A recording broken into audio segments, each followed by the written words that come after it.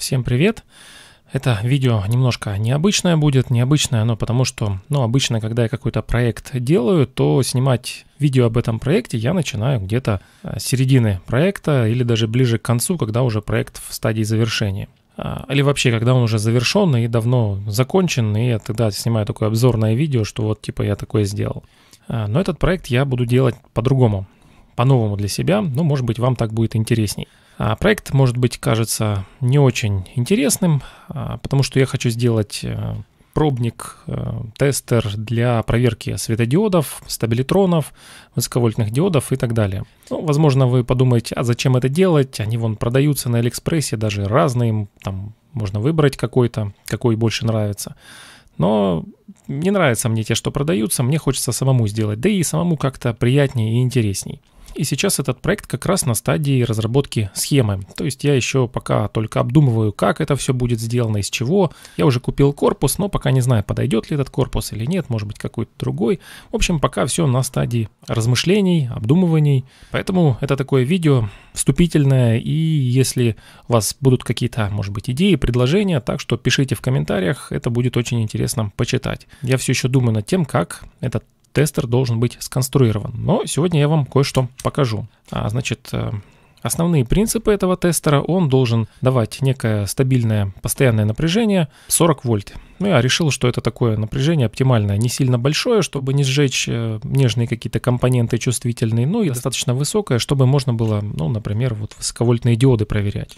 А, ну и также удобно, когда есть возможность не один светодиод про- проверить, а сразу цепочку там из двух, трех, четырех светодиодов. Поэтому 40 вольт. Ну и выбрал, чтобы, скажем так, безопасно и в то же время это работало, выбрал небольшой ток а, в полтора миллиампера. Ну, один-полтора где-то вот в этом диапазоне.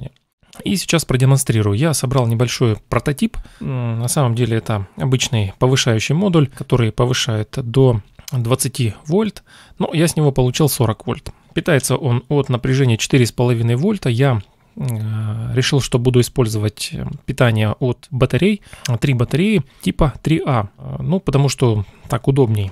Значит, напряжение 40 вольт и ток, ну вот сейчас ток будет немножко больше, не 1,5 миллиампера, он будет больше.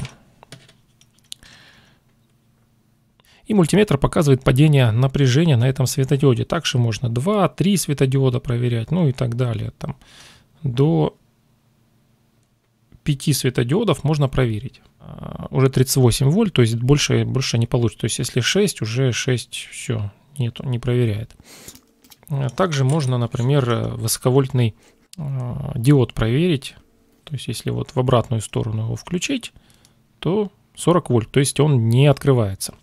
Если в прямом направлении включить, 7,5 вольт, то есть диод открывается. А также стабилитрон. Это стабилитрон КС518А. Так, где у него там катод-анод? Вот 18 вольт, практически ровно. А, ну, интересно, что здесь у меня как бы два варианта сейчас. Сейчас подключено через а, стабилизатор тока, ну или источник тока. А, и можно даже посмотреть, что ток при этом стабильный положу, чтобы не мешал, но было видно. Так вот. Если проверять один светодиод, то ток ну, почти 2 миллиампера. Если проверять 5 светодиодов, то ток точно так же, почти 2 миллиампера. А, ну, есть здесь у меня и второй вариант. Уже не через стабилизатор тока, не через э, источник тока, а просто через резистор. И в этом... Так, наоборот. В этом случае а, ток короткого замыкания получается 1,2 мА. Через один светодиод 1 мА. Через 5 светодиодов, ну, уже совсем что-то мало. Меньше 100 микроампер. Но у первого варианта есть недостаток. То есть в таком режиме потребляет э, больше. Если просто резистор, вот как сейчас подключено, он совсем там какой-то мизерный ток, и батареи будет хватать очень надолго. Если через э, источник тока, то э, расход будет больше. Ну и покажу схему. На данный момент это еще не окончательная схема, но скорее всего, она уже сильно не изменится. Все основные блоки здесь как бы уже есть. В верхней части преобразователь и, собственно, на двух транзисторах источник тока сделан. Также здесь есть внизу схема зарядки литий-ионного аккумулятора, но я не уверен, что я хочу именно литий-ионный аккумулятор, потому что, ну, батареи здесь будет вполне достаточно, и они очень удобно будут работать. Но пока это в схеме остается, я еще, может быть, не знаю, буду думать над этим. Так что пишите в комментариях ваше мнение об этой схеме, об этом проекте.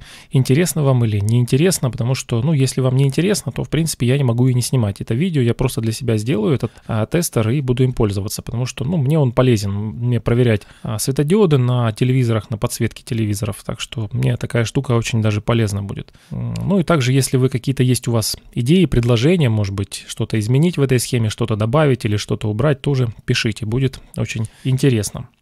Когда выйдет следующее видео по об этом проекте, я пока не знаю, но постараюсь не затягивать.